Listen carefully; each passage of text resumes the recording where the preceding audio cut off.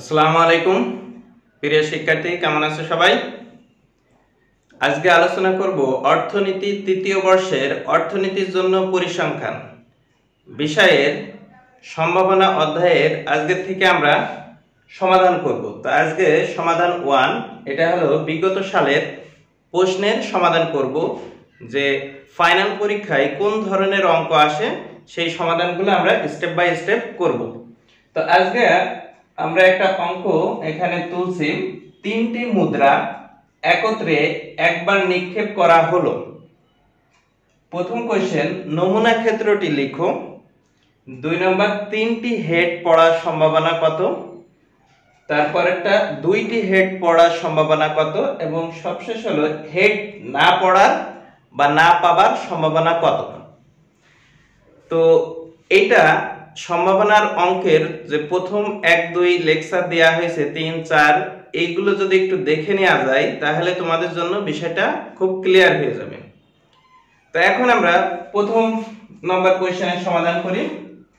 তো সমাধান number one question আমরা জানি একটি মুদ্রায় দুটো পিঠ। তাহলে লিখতে পারি একটি মুদ্রায় দুটো পিঠ।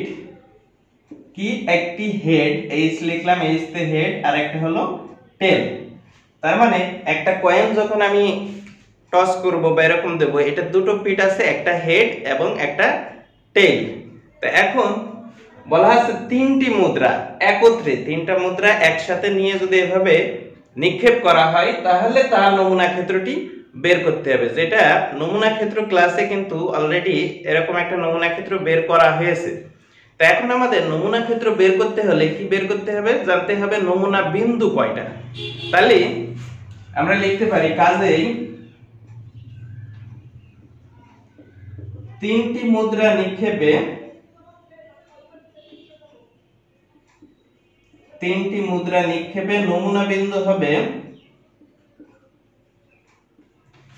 যেহেতু মুদ্রার হলো হেড এবং টেল বেস হলো দুই, আর নিক্ষেপ করা হচ্ছে কয়বার? তিনবার। তাহলে টু দি পাওয়ার থ্রি সমান আট। তাহলে একটা তিনটি মুদ্রা যদি একত্রে নিক্ষেপ করা হয়, তাহলে তার নমুনা বিন্দু আসবে কতগুলো? আটটি। এখন আমাদের কোশ্চেনে বলা হচ্ছে, সেই আটটির একটা নমুনা ক্ষেত্র যেটা, সেই ক্ষেত্রটি লিখো। তাহলে আমাদের নমুনা ক্ষেত্রটি কীভাবে লিখব আমরা? নমুনা ক্ষেত্র, নমুনা ক্ষেত্রটি হবে একটা এস ওয়ান দিলাম, একটা কয়েন যখন প্রথম টস করা হবে, তার কি কি পাবো আমরা? একটা হেড একটা টেইল আবার পরের আরেকটা কয়েন সেটারও কি কি সম্ভাবনা আছে? একটা হেড একটা টেইল তারপর তৃতীয় নম্বরটার সম্ভাবনা কি? একটা হেড একটা টেইল তাহলে এই যে তিনটা, প্রত্যেকটা সেপারেট সম্ভাবনা, একটা হেড একটা টেল কিন্তু যখন তিনটা একত্রে নিক্ষেপ করা হবে, সেটা নমুনা ক্ষেত্রে আমাদের বের করতে হবে। তাহলে সহজভাবে আমরা কীভাবে বের করতে পারি? S1 গুণিত S2 প্রথম আমরা এইটা আর এটা গুণ করে নেব। হেড টেল গুণিত S2 এর মান কত? হেড টেল এখন এটা গুণ করে আমরা যেটা পাবো কীভাবে গুণ করব? এই এইচ দিয়ে দুটোরই গুণ করে নেব। এই প্রথম এইচটা দিয়ে এইচ এর গুণ করলাম, তাহলে এইচ এইচ তারপর এইচ দিয়ে টি এর গুণ করলাম এইচ টি তাহলে এইচ দিয়ে দুটো গুণ করা শেষ। এখন আমি টি দিয়ে গুণ করব, তাহলে টি এইচ টি টি তাহলে এই যে আমরা যে নমুনা ক্ষেত্রটি পেলাম, এটা হলো দুটো কয়েন একত্রে বের করার, নিক্ষেপ করার। কিন্তু আমাদের বলছে কয়টা? তিনটি কয়েন বা মুদ্রা একত্রে নিক্ষেপ। তার মানে এখন আমাদের একটা বাকি আছে। তাহলে এখন পরবর্তীটা আমরা কীভাবে বের করব?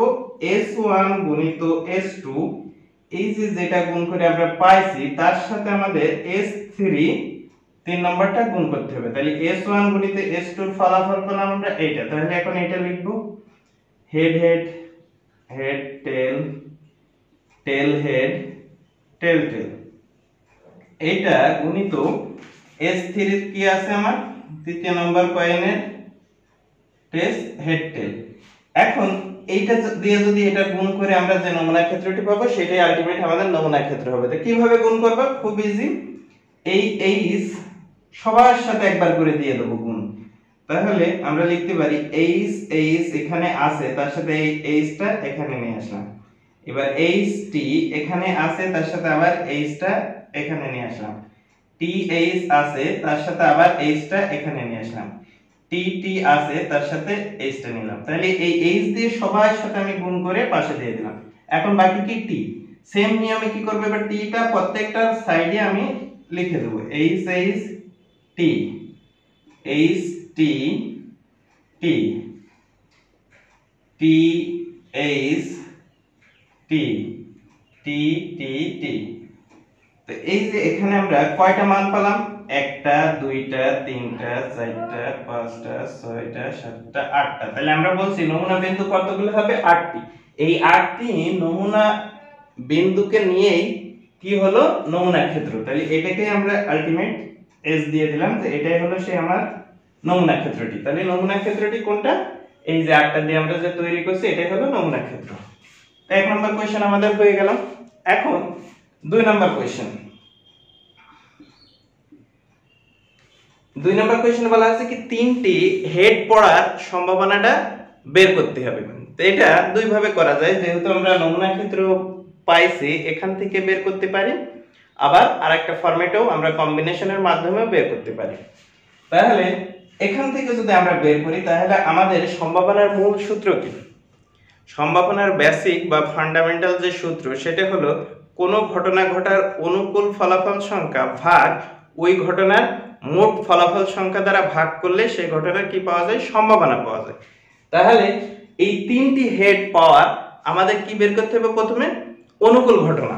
তাহলে লিখতে পারি, তিনটি হেড পাবার অনুকূল ঘটনা কয়টি? তো এখানে আমরা দেখে দেখতে পারব যে তিনটি হেড পাওয়ার অনুকূল ঘটনা এই নমুনা ক্ষেত্রের মধ্যে একটি। তাহলে আমরা বলতে পারি তিনটি হেড পাবার সম্ভাবনা। তাহলে তিনটি হেড পাবার সম্ভাবনা কি হবে? প্রথমে আমরা বলছি অনুকূল ঘটনা। অনুকূল ঘটনা কয়টা? একটা পাবো। আর মোট ঘটনা হিসেবে কয়টি? আমরা নমুনা বিন্দুতে বের করেছি আট। এই আট দিয়ে ভাগ দিয়ে দেবো। তো এইভাবে অ্যান্সার রাখা যায়। আবার এটাকে যদি আমরা ভাগ করি তাহলে দশমিকে চলে আসবে। তো সেই দশমিকও আমরা অ্যান্সার করতে পারি। অর্থাৎ zero point one two five এটাই হলো এটার অ্যান্সার এখন এটা আরেকটা নিয়মে করা যায়, সেটা হলো এটা বিকল্প, এবং আমরা এটাই ফলো করব বেশি, কারণ এখানে যেহেতু তিনটা কয়েন দেয়া আছে, যদি বলা হয় পাঁচটা, দশটা, তাহলে হিউজ আকারে নমুনা ক্ষেত্র চলে আসবে, সেগুলো তখন আমাদের জন্য অনেক ডিফিকাল্ট হয়ে যাবে। দ্যাটস ওয়াই আমরা কি করব? এই বিকল্প নিয়মটা অনুসরণ করব। এখন এটা কীভাবে করতে হয়? সহজ কথা, একবারে আমরা লিখে দেব, তিনটি হেড পাওয়ার সম্ভাবনা। তাহলে সম্ভাবনা কি আসবে? প্রবাবিলিটি থ্রি হেড এই তিন দিয়ে এইচ দিছি তার মানে তিনটা হেড পাওয়ার সম্ভাবনা। ক্লিয়ার বিষয়টা? এখন এটাকে আমরা কম্বিনেশনের মাধ্যমে ভাঙব। সেটা কীভাবে? তো আমরা কম্বিনেশনে দেখছিলাম মূল কয়টা? তিনটা। তাহলে মোট তিনটা কম্বিনেশন আবার কয়টা পাবো? হেডও পেতে হবে তিনটা। অর্থাৎ সেই অনুকূল ঘটনাটাও আমাদের এখানে তিনটি লিখতে হবে। এইটি গিভেন টোটাল আমাদের যে মোট দেয়া আছে সেটা দিয়ে ভাগ হবে সবসময়। তার মানে তিনটা হেড পাওয়ার সম্ভাবনা যখন আমরা লিখব প্রবাবিলিটি থ্রি এইচ তিনটা হেড তাহলে তিনটা হেড কম্বিনেশনের মাধ্যমে কীভাবে আসে? থ্রি সি থ্রি নিচেই গিভেন এইট এখন এটাকে আমরা ভেঙে বের করব। এখন থ্রি সি থ্রি এটা হলো বিগত লেকচার কম্বিনেশনেরটা ভালো করে দেখলে খুব ইজি হয়ে যাবে। তো এটা কম্বিনেশনের আরেকটা আমরা শর্টকাট বলছিলাম কীভাবে বের করা যায়? থ্রি সি থ্রি এটাকে আমরা বলছিলাম যে তিন নিচের দিকে কয়বার নামবে? তিনবার, যেহেতু নিচে তিন আছে, তাহলে তিন, দুই, এক।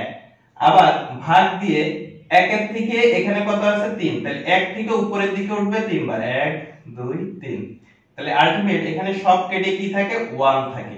তাহলে এখানে আমরা লিখতে পারি ওয়ান ভাগ এইট সমান zero point one two five এটাই অ্যান্সার তার মানে আগেরটা আমরা নমুনা ক্ষেত্র থেকে বের করে করলাম।